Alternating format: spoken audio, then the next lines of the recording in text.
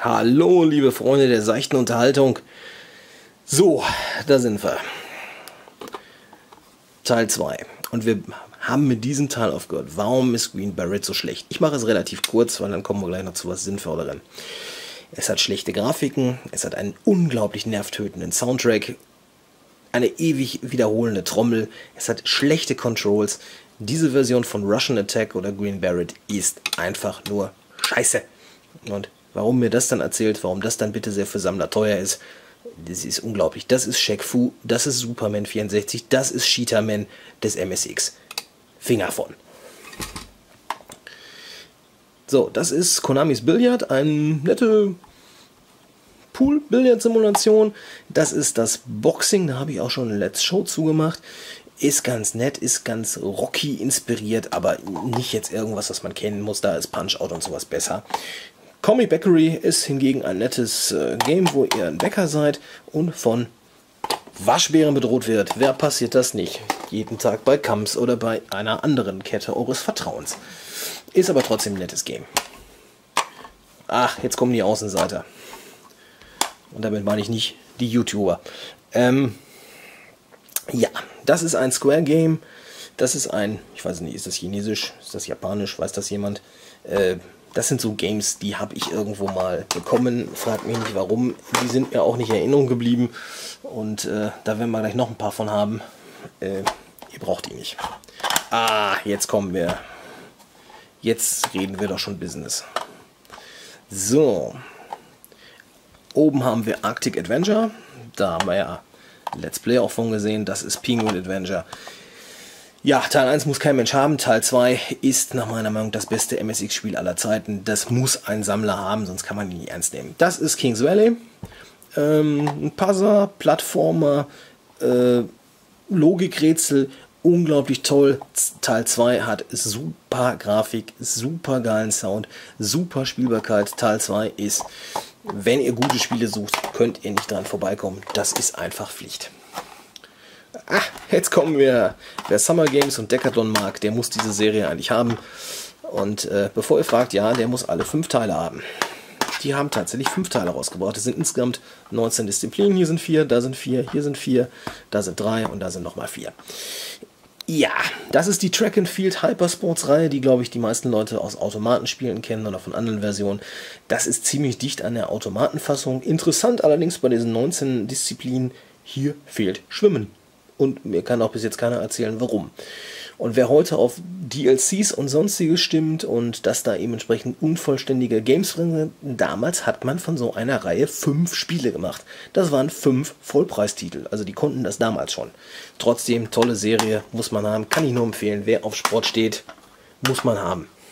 Lohnt sich auch wirklich, nicht unbedingt als Let's Play, aber lohnt sich mit Sicherheit als Let's Show. Was haben wir denn da als nächstes? Ah, es geht weiter wie das Brezelwagen. So, brauche ich was dazu sagen? Metal Gear 1, gar keine Diskussion, muss man haben. Schweine teuer das Modul, aber sensationell gut. Ja, Road Fighter ist so ein bisschen der geistige Vorvater von F1 Spirit, ein bisschen arcadey, ganz nett, aber muss man jetzt nicht haben. Die Goonies sind ein nettes äh, Jump-and-Run-Puzzle-Ding, kann man haben, ist okay, finde ich besser als zum Beispiel den zweiten Teil auf dem NES. Den finde ich ein bisschen merkwürdig. Der ist ja so ein bisschen auch in die Richtung, auch so ein bisschen Adventure, ein bisschen RPG, ein bisschen irgendwas. Wir können gar nichts. Äh, also das finde ich besser. Hat aber nur fünf Stages. Das ist der legendäre Qbert. Sowieso ein tolles Spiel, eine tolle Version. Und ganz wichtig, dieses Modul in der Kombination mit anderen Modulen macht viel. Erweitert Spiele ohne Ende. Das muss man haben. Glaubt es mir. Glaubt diesem unschuldigen jungen Mann, der euch jetzt nicht anguckt. So, wir kommen zum nächsten Stapel. Oh, jetzt kommen wieder... ne, komm, das machen wir in einer anderen Reihenfolge, dann macht das auch Sinn. So, wir kommen zu zwei Games, die wieder keiner braucht.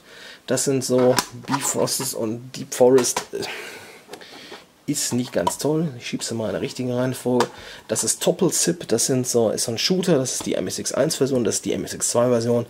Die hat definitiv bessere Grafik. Fragt mich nicht, warum ich beide Versionen habe, aber ich gehe davon aus, das war wahrscheinlich einfach historisch. Deswegen habe ich dann einfach mal die Version dazu gekauft. Pipples. Pipples wird es als Let's Play geben oder vielleicht auch schon dementsprechend. Ich weiß nicht, wie faul ich bin mit Hochladen.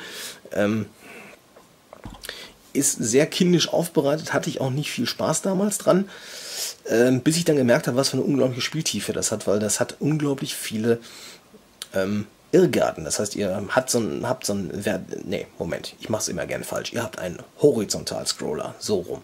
Genau das gleiche wie bei Nightmare auch. Äh, nur eben sehr kindisch präsentiert, so ich sag mal die sechs Jahre Version von Nightmare.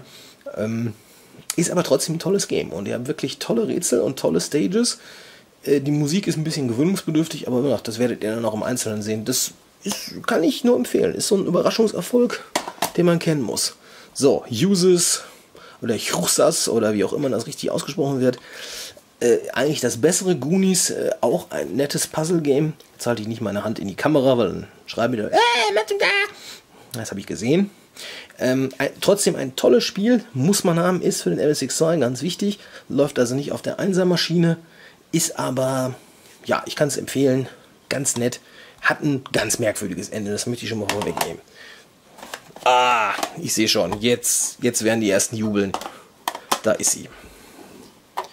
Nemesis, Gradius, Life Force, Salamander, wie immer ihr es nennen wollt, da sind sie. Der erste Teil ist absolute Weltklasse. Absolut Pflicht. Da ist irgendwas runtergefallen. Hauptsache nichts Wertvolles. Sonst, wie schon gesagt, gerne für mich spenden oder in den Kommentaren mich auslachen. Da ist also dementsprechend ein, äh, der erste Teil sehr solide, sehr gut. Der zweite Teil ist für mich das Beste der Serie. Toller Sound, super Grafik. Auch geniale Idee, ihr müsst einmal den einen Weg hinfliegen, dann müsst ihr den einen Weg nochmal zurückfliegen. Ihr könnt Bonuswaffen bekommen, ihr könnt also die Feinde entern. Tolle Ideen, tolle, wirklich super genial gemacht. Und wenn einmal den, äh, jemand den, äh, ach, wie heißt der in Deutsch? Ich glaube, der Life Planet, der ist das der Lebensplanet. Äh, auf jeden Fall unglaublich toller Song, finde ich unglaublich gut. Super. Äh, Nemesis 3, auch toller Sound, ist mir mal ein bisschen zu Adventure-mäßig. Auf einmal musstet ihr nämlich dann Karten finden, dann kamt in die Levels nicht mehr weiter. Äh, alles ganz, ganz komisch. So, Salamander. Und bei Salamander ist es wichtig, da müsst ihr eins, ich glaube das war Nemesis 2, müsst ihr als Modul drin haben, damit ihr überhaupt den letzten Level spielen könnt. Ja, das ist lustig, ne? Äh, ist aber trotzdem ein tolles Spiel und wechselt auch die, die Perspektiven, wie ihr fliegt. Ob ihr jetzt vertikal und horizontal fliegt, die anderen sind alles die üblichen Vertikal-Scroller. Aber eine tolle Serie muss man haben. Sollte man nicht, muss man eigentlich in der Sammlung haben. So, kommen wir zum letzten Rest. Ah, und was für ein letzter Rest. Ah, da wird ja nochmal richtig groß aufgefahren. Vampire Killer. Das Castlevania für den MSX. Castlevania 1 der Hard Mode. Pflicht, Pflicht, Pflicht. Ist, glaube ich, aber nicht mehr so ganz billig. Das ist F1 Spirit, was ich angesprochen habe. Da habe ich auch schon mal ohne Kommentar was gezockt.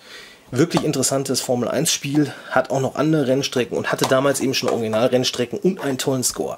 Da ist der legendäre Game Master, das Sheet-Modul von Konami selber.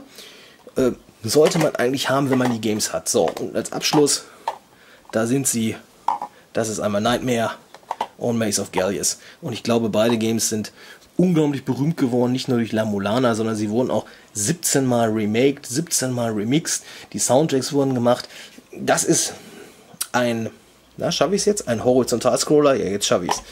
Ähm, der wirklich ein Extraklasse, der wirklich Spaß macht. Und das Ding ist auf Zelda 1, Zelda 2, Simon's Quest Niveau. Äh, gefiel mir als Kind gar, witzigerweise gar nicht so gut, weil die Grafik eben hundsmiserabel war an manchen Stellen. Ist aber unglaublich tief, unglaublich gut. Muss man eigentlich haben. Kann ich nur empfehlen. Ja, und damit habt ihr sozusagen alles gesehen, was ich so habe. Ich schwenke noch einmal kurz auf den Rechner. Total geheimnisvoll. Ich schwenke noch einmal auf den Berg. Nein, und ihr seht, es ist nichts Wichtiges runtergefallen. Ich weiß, das interessiert euch, ne? Nicht, dass irgendeiner sagt, oh, nachher ist noch bei dir was kaputt gegangen. Edge. Ähm, ja, damit möchte ich es bewenden. Vielen Dank für die zwei Wochen Aufmerksamkeit. Und dann habt ihr alles gesehen. Ähm, ob ich nochmal Disketten zeige und Kassetten, muss ich gucken. Habe ich auch noch da, aber das machen wir mal an anderer Gelegenheit. Jetzt wechseln wir erstmal die Systeme oder die Serien. Mal gucken, was man sich da, was man da finden kann. Alles klar, ich bedanke mich. Vielen Dank fürs Zuschauen und wieder abonnieren, kommentieren, bewerten, Fave-Abo und ihr wisst es ja, ne? Tschüss.